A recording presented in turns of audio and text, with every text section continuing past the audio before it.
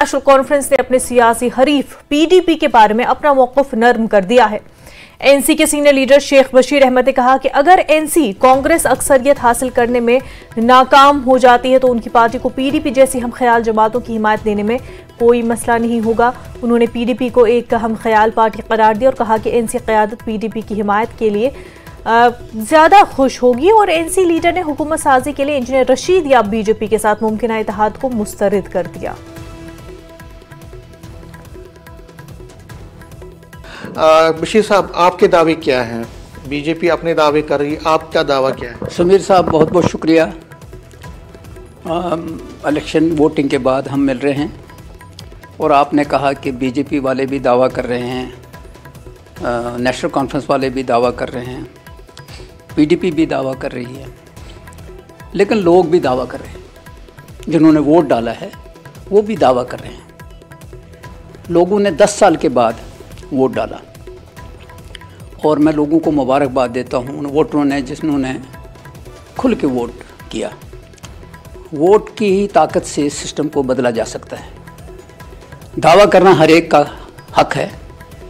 आ, लोगों का जो वोट है जो मैंने जब वोट होते हुए देखा मोदी लहर नहीं देखी।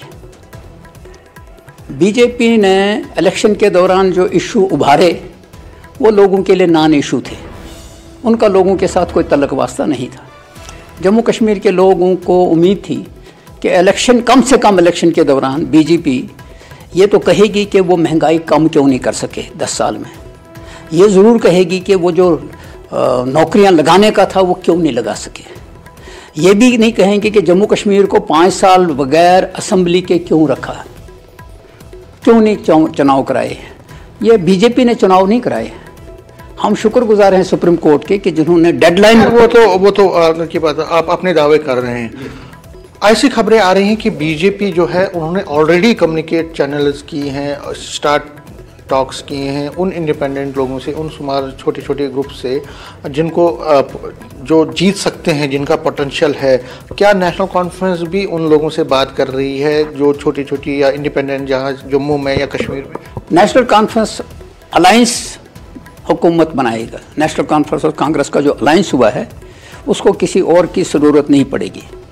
और मैं ये समझता हूँ कि बीजेपी वाले उस कमज़ोरी को छुपा रहे हैं, जो कल आपने जिसका इशारा आप कर रहे हैं कि कल, वो कोर ग्रुप की मीटिंग हुई है। हम जी उन लोगों का घर देखेंगे जिन लोगों ने, जो पोटेंशियल जिसमें वर्ड यूज़ किया गया है पोटेंशियल जीतने वाले हैं। तो मैं समझता हूँ कि रिज़ल्ट आने के बाद ही इस चीज़ की बात करनी चाहिए थी। बीजेपी ने उससे पहले ही हार मान ली, अच्छी बात है। क्योंकि प्राइम मिनिस्टर ऑफ़ इंडिया ने जब रैली जम्मू में एड्रेस की, जिसमें कहा कि मैं जम्मू के डोगरों को जश्न मनाने के लिए आया हूँ। जीत का जश्न। वो जीत का जश्न इंतज़ार कर रहे हैं कि कौन सा जीत का जश्न है, और मोदी जी अगर नजूमी हैं, वो पहले ही रिज़ल्ट निकाल लेते हैं तो वो दूसरी बात है। कैमरा हैं के साथ में Sameer Bhatt? News eighteen Jammu. मुसद्दिका जराये का कहना है कि बीजेपी लीडरों ने जम्मू और कश्मीर दोनों सूबों के मुमकिन आज़ाद उम्मीदवारों के साथ रबते के रास्ते खोलने की मशकें शुरू कर दी हैं। जबकि राम माधव समेत कुछ सीनियर मरकजी रहनुमा पहले ही वादी कश्मीर के मज़बूत आज़ाद उम्मीदवारों के साथ रबते में है। जम्मू सूबे के लीडरों को इन आज़ाद उम्मीदवारों से रबता करने का काम सौंपा गया, जो इंतबात से जीतने की सलाहियत रखते हैं। पार्टी ने बातचीत शुरू कर दी है। Jugal Kishore Sharma, Mata Vaishno Devi seat, GM Saroori, Inderwal seat, Satish Sharma, Chhamb seat, Pawan Khajuria, Udhampur seat. East जैसे आज़ाद उम्मीदवारों से बातचीत की जा सकती है। इन तमाम आज़ाद उम्मीदवारों के बारे में कहा जाता है कि उनके इंतबात में जीतने के रोशन इम्कान हैं।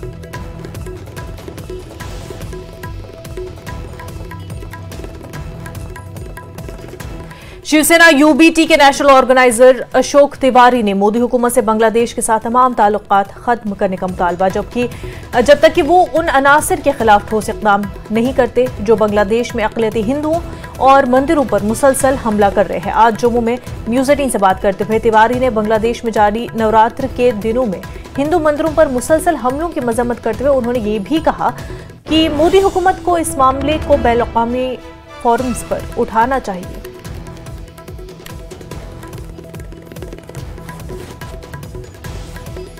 बांग्लादेश में हिंदू टेम्पलों पे जो अटैक्स हैं, जो हमले हैं, वो जारी है और नवरात्रा कल से शुरू हुए हैं फेस्टिवल लेकिन कल से ही जो बांग्लादेश से खबरें आ रही हैं, उसके मुताबिक वहाँ पे कई मंदिरों को निशाना बनाया गया है। इस पर मेरे साथ बात करने के लिए हैं अशोक तिवारी। ये ऑर्गेनाइज़र है नेशनल ऑर्गेनाइज़र हैं शिवसेना बाल ठाकरे ग्रुप के। तिवारी साहब, आप, ये जो अटैक्स हो रहे हैं, कितना कंडेमनेबल है और क्या करना चाहिए? दरअसल में बांग्लादेश, पाकिस्तान जहाँ जहाँ पे मुस्लिम कंट्रीज़ हैं, वहाँ हमारे हिंदुओं का जीना हराम हो गया है। और जिसकी जितनी भी निंदा की जाए, ये नवरात्र का, जो कि हिंदुओं का एक पवित्र त्यौहार है, पवित्र जो है, आस्था है इसके प्रति, इस बीच अगर हमारे हिंदू मंदिर कहीं भी तोड़े जाते हैं तो ये बहुत ही शर्मनाक, लज्जाजनक है। और मैं तो ये कहूँगा कि हमारे जो देश के प्रधानमंत्री हैं मोदी जी, इसमें इनकी चुप्पी भी बहुत खल रही है हम लोगों को, क्योंकि हमारे ही भाई, हम जबकि यहाँ पूरे सद्भाव के साथ रहते हैं, सब एक दूसरे का मनाते हैं, पर्व मनाते हैं, एक दूसरे के उसमें शामिल होते हैं। ऐसी कंडीशन में हमारे ही देश में अगर बगल में हमारे पड़ोसी जिनको कि हमने मौका दिया वहाँ पर बांग्लादेश में का, अगर उसमें भी हमारे हिंदू की को इस तरह से मारा जाएगा उनके मंदिर भ्रष्ट किए जाएँगे और उनका जो है मूर्तियाँ तोड़ी जाएँगी, मंदिर तोड़े जाएँगे तो इसका बहुत बड़ा दुष्परिणाम है और हमारे हिंदुओं को जागने की ज़रूरत है। और हमारे देश के प्रधानमंत्री मोदी जी को इस पर सख्त से सख्त एक्शन लेने की ज़रूरत है, इसको संयुक्त राष्ट्र में उठाने की ज़रूरत है।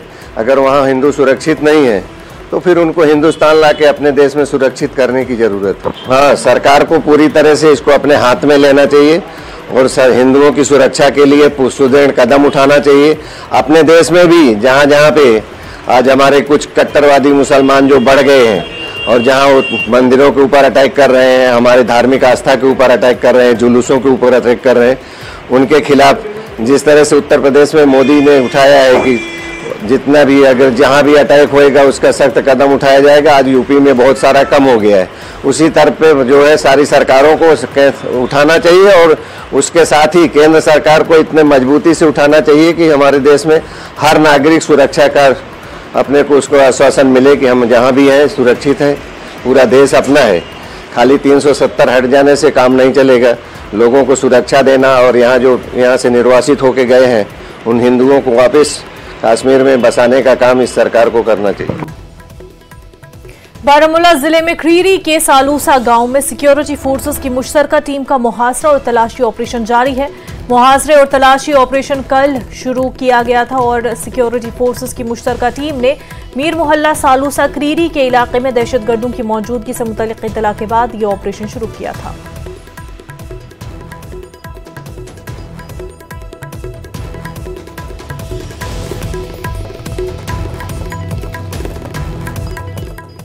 मीरवाइज मौलवी मोहम्मद उमर फारूक चार हफ़्ते बाद जामा मस्जिद श्रीनगर में नमाज़ जुमा की इमामत करेंगे।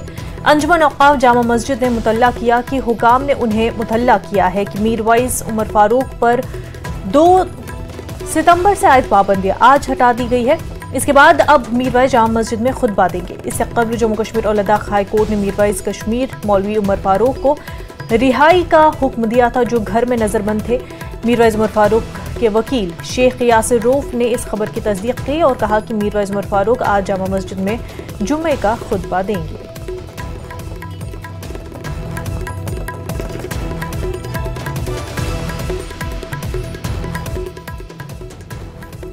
भद्रवा की जगोत पंचायत में मैरीगोल्ड के फूलों के काश्तकार खुश से झूम रहे हैं क्योंकि उन्हें न सिर्फ़ बेहतर कीमत मिल रही है, बल्कि देवी का आशीर्वाद भी मिल रहा है।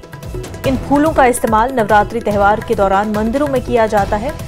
मैरीगोल्ड ने भद्रवा के 500 से जायद खानदानों की किस्मत बदल दी है, क्योंकि वो हकीकी मानों में अपनी आमदनी को दुगना कर रहे हैं। खास तौर पर नवरात्रि के त्यौहार के दौरान फूलों की मांग कई गुना बढ़ जाती है।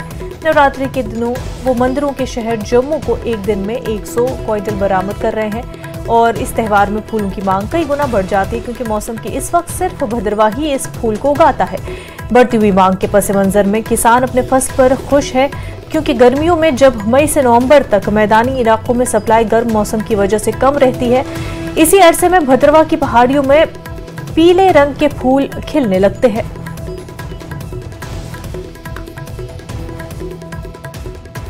कि नवरात्रे आते हैं तो हम फूल देना शुरू करते हैं।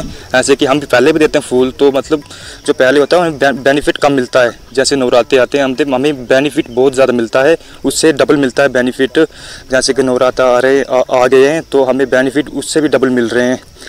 तो हम जैसे मैं स्टडी करता हूँ तो मेरे मतलब मेरा बोलने का मतलब जैसे कभी मेरे को टाइम फ्री होता जब स्टडी करने के बाद फ्री टाइम होता होता है तो तो हम मतलब मैं अपने यहाँ खेतों में आता हूँ तो चेक करता हूँ कहीं कीड़े ने काट लिया, कहीं कुछ कर दिया तो मैं चेक करता हूँ ऐसे कि हम फूल बहुत लगाते हैं। हमारे यहाँ पे अप्रैल से ही ये होता लेकिन हमें लोगों को इंतज़ार रहता है नवरात्रि का, क्योंकि नवरात्रे में जो है फूलों की काफ़ी कंजम्पशन जो है, जम्मू में पूजा पाठ और काफ़ी फ़ंक्शन होते हैं तो उसमें एक तो रेट भी काफ़ी मिलता है तो इसीलिए हमें काफ़ी इंतज़ार रहता है कि हमारे कब नवरात्रे हमारा जो ये फूल जो है, वो मंडी में पहुँचे तो इससे दो ही खुशी हमें होती है। एक तो हम लोग यहाँ पर फूल लगाते हैं और हमारा माता के चरणों में जो चढ़ता है नवरात्रे में, एक तो हमारी इनकम बनती है और दूसरा हमें माता का आशीर्वाद है और हमारे यहाँ पे काफ़ी ये जो है ये इलाका हमारा जो पूरा खुद कफील हो गया है इन फूलों की खेती की वजह से। तो हमें यही खुशी है, रहती है कि कब नवरात्रि आए और हमारा फूल जो है वो माता के चरणों में चढ़े। हम मक्की लगाते थे पहले तो हमें कोई बेनिफिट नहीं था उसमें। तो हमारा गुजारा होता नहीं था मक्की से तो पैसा नहीं होता था हमारे पास। तो जब से हमने ये फूल लगाने शुरू करिए, उस टाइम से बाद हमें बहुत बेनिफिट हो रहा। और यही फूल जम्मू में नहीं होता है, कहीं नहीं होता आजकल। तो हमारे बतरवा गाजोट से फूल जा रहा है। तो इसमें हमें भी फ़ायदा है, कुछ पैसा मिल रहा है तो हमें भी उसमें बेनिफिट हो रहा है। तो ये फूल माता के, चरणों में चढ़ रहा है। तो माता का भी शुक्रिया कि उसमें, उसका भी बहुत, एक किस्म का माता के चरणों में चढ़ रहा था हमें उसका भी फ़ायदा है। उसके बाद फिर हमें ये है कि चलो जी, हमें भी पैसा बन जाता है, हमें भी कुछ मत हो जाती है। खबरों का सिलसिला आगे भी जारी रहेगा लेकिन उससे पहले एक छोटा सा ब्रेक।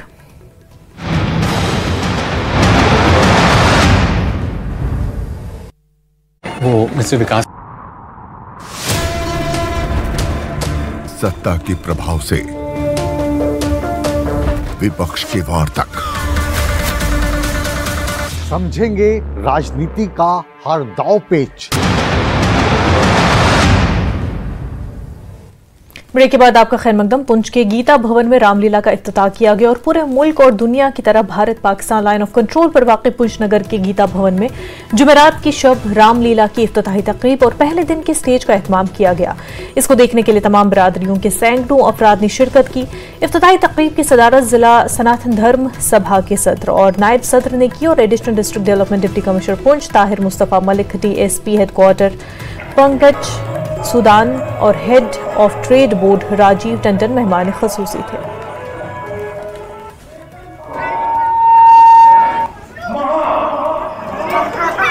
खजाने का मालिक तो है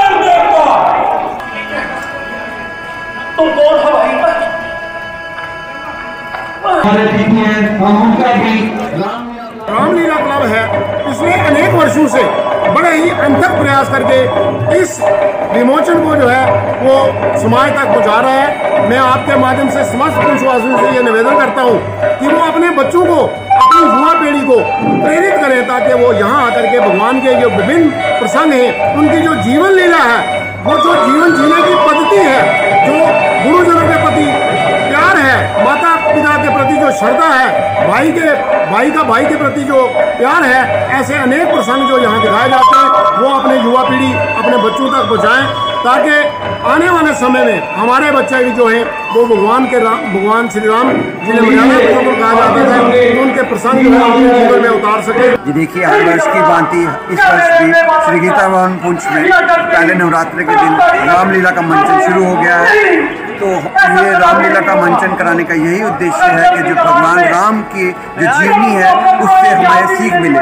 और जो हमें ये पता लगे कि एक अच्छे पति कैसा होता है एक अच्छा माता के बारे में सीखना है तो लक्ष्मण जी से सीखना चाहिए, एक अच्छे भाई, बड़े भाई के बारे में सीखना चाहिए तो भक्त से सीखना चाहिए। जम्मू कश्मीर बीजेपी के वर्किंग सदर सच शर्मा ने दावा किया कि उनकी पार्टी को कतई अक्सरियत मिलेगी और जम्मू कश्मीर में अगली हुकूमत बनाएँगे। उन्होंने कहा कि उनकी पार्टी को किसी भी आज़ाद या छोटी पार्टी की हिमायत की ज़रूरत नहीं होगी। सर शर्मा ने कहा कि जम्मू कश्मीर दोनों खितों से ताल्लुक रखने वाले वोटरों ने जम्मू कश्मीर में बीजेपी की हुकूमत बनाने का जहन बना लिया है। सज्जी न्यूज़ एटीन से बात करने के लिए आपका धन्यवाद। सबसे पहला सवाल मेरा ये, आठ तारीख को सिर्फ़ चार दिन, बीजेपी के दावे क्या है? क्या आप सिंगल लार्जेस्ट बनोगे या आपको मेजोरिटी मिलेगी? ऐसा है कि भारतीय जनता पार्टी एक इतिहास रचने जा रही है। पहली बार एक विधान, एक निशान, एक प्रधान के अंतर्गत चुनाव हुए और इन चुनावों में जहाँ तक प्रश्न भारतीय जनता पार्टी का है, सिंगल लार्जेस्ट बड़ी पार्टी तो डेफिनेटली बनकर उभरेगी। लेकिन अपने बलबूते के ऊपर सरकार जो है, हम लोग बनाएँगे। और पूरे प्रदेश भर में एक ऐसा वातावरण बना है। आप कभी घाटी के बारे में सोचिए कभी आप लोग डोडा के बारे डोडा क्षेत्र के बारे में सोचिए या राजौरी और पुंछ के क्षेत्र के बारे में सोचिए आप लोगों के ध्यान में आएगा कि यहाँ पर हम लोगों के लिए कभी खाता खोलना भी मुश्किल होता था। आज वहाँ पर भी Bharatiya Janata party single largest party या full majority Bharatiya Janata party चुनाव जीतने जा रही है और अपने बलबूते के ऊपर सरकार बनाएगी। अच्छा ये कोर कमेटी की मीटिंग हुई है आपकी, कोर ग्रुप की, और उधर से जो सामने आया है कि अगर इन केस, अगर शॉर्ट ऑफ़ मेजॉरिटी रहते हैं तो आप इंडिपेंडेंट लोगों से जो इंडिपेंडेंट हैं बहुत सारी जगहों पे, जिन जो पोटेंशियल इंडिपेंडेंट जीत सकते हैं आपकी नज़र में, कश्मीर में भी और जम्मू में भी, उनके रबते में हो गए, उनके रबते में हैं और उनकी भी मदद ले सकते सवेरी ऐसी कोई भारतीय जनता पार्टी की अभी बैठक नहीं हुई। हम लोग अलग अलग स्थानों पर जहाँ पर चुनाव हुए हैं एक आध दिन के बाद आप लोगों के सामने जो भी रिजल्ट्स हैं क्योंकि आप लोगों के भी एग्जिट पोल होते हैं बाकी लोग भी एग्जिट पोल करेंगे। ये रिज़ल्ट आप लोगों के सामने पाँच तरीक को आ जाएँगे। और यहाँ तक प्रश्न जैसे मैंने कहा ना एक विधान एक निशान एक प्रधान के अंतर्गत पहला चुनाव है और भारतीय जनता पार्टी एक बड़ा इतिहास जो है वो रचने जा रही है। क्योंकि सियासत में कोई परमानेंट दोस्त या दुश्मन नहीं होता। इनकेस मैं कह रहा हूँ अगर आपको ज़रूरत पड़े तो आपके दरवाजे खुले हैं बाकी जो इंडिपेंडेंट हम, जैसे मैंने आपको कहा, भारतीय जनता पार्टी इतिहास रचेगी तो वैसा ही रचेगी। इफ्स एंड बर्ड्स उसमें होते हैं जब जब हम पीछे होते हैं। हम कहीं भी पीछे नहीं हैं। आपको जैसे मैंने कहा, डोडा जैसे क्षेत्र में भी हम लोग चुनाव जीत रहे हैं। रजौरी, पुंछ जैसे क्षेत्र में आप लोगों को कमल का फूल खिलता हुआ मिलेगा। और यहाँ तक कश्मीर का प्रश्न है। वहाँ पर भी इस बार आपको कमल का फूल खिलता हुआ नज़र आएगा। आज कश्मीर की जनता को भी, वहाँ के लोगों को, वहाँ के नौजवान पीढ़ी को लगता है कि कितने वर्ष, आज़ादी के कितने वर्ष तक उन लोगों को, उन पार्टियों ने धोखा दिया, जिन्होंने कभी उस प्रदेश के हित के बारे में नहीं सोचा। कई नेता जो थे आपके, जिनको टिकट नहीं मिली वो और वो एज एन इंडिपेंडेंट चुनाव लड़ रहे हैं, क्या आप उनको अपने साथ ला सकते हैं? ऐसा है कि मैं भी था, लेकिन मैं पार्टी का कार्यकर्ता होने के नाते मैंने कार्य किया है। वैसे ही मेजोरिटी हमारे कार्यकर्ता हैं। मैंने कहा, अपने बलबूते के ऊपर हम लोग सरकार बनाने जा रहे हैं। बहुत बहुत धन्यवाद। ह्यूमैनिटी वेलफेयर ऑर्गेनाइजेशन और मुस्लिम एडवोकेट ऑस्ट्रेलिया के इश्तराक से जिस्मानी तौर पर कमज़ोर बच्चों को व्हील चेयर फराहम करने की मुहिम बिजबिहाड़ा से शुरू की गई। डीसी अनंतनाग सईद फखरुद्दीन हामिद ने पद्मा अवार्ड याफ्ता समाजी कारकुन जावेद टाक के हमरा इस मुहिम का आगाज़ किया। एक सौ के करीब बच्चों में व्हील चेयर तकसीम किए गए और मुंतजमीन के मुताबिक ये मुहिम आगे भी जारी रहेगी। इस मुहिम के तहत कश्मीर के हर इलाके के मुस्तक बच्चों को व्हील चेयर फराहम की जाएगी।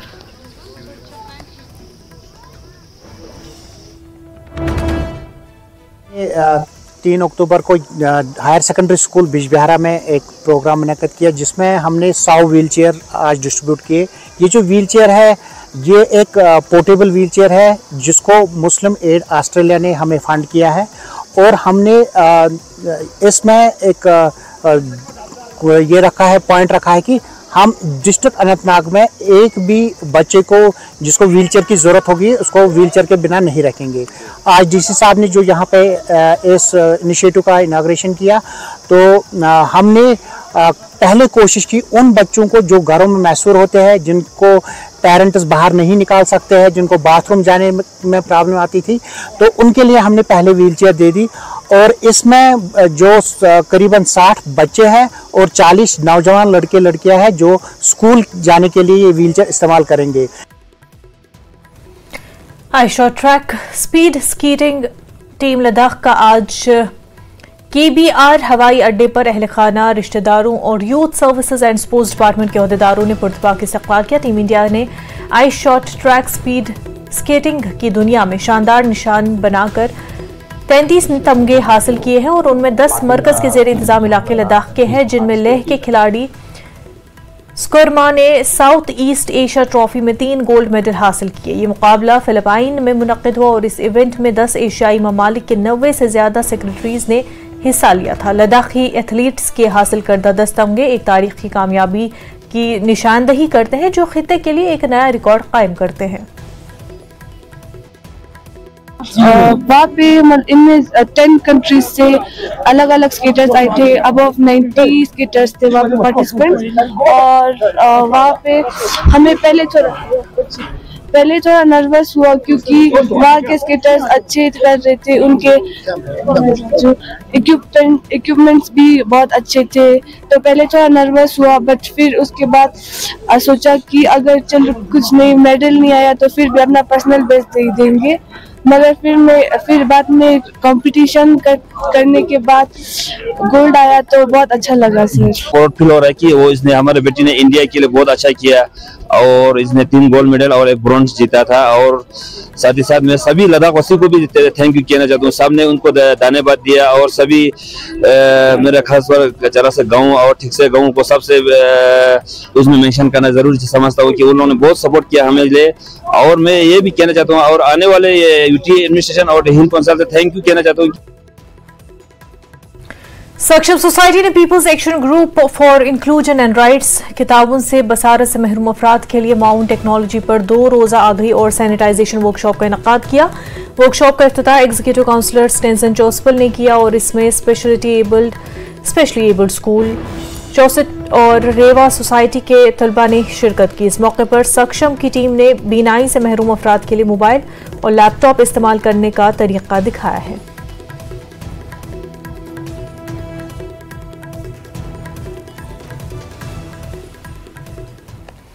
प्राइम नून एट वन में फ़िलहाल इतना ही। पर आप बने रहे न्यूज़ एटीन के साथ। आदाब।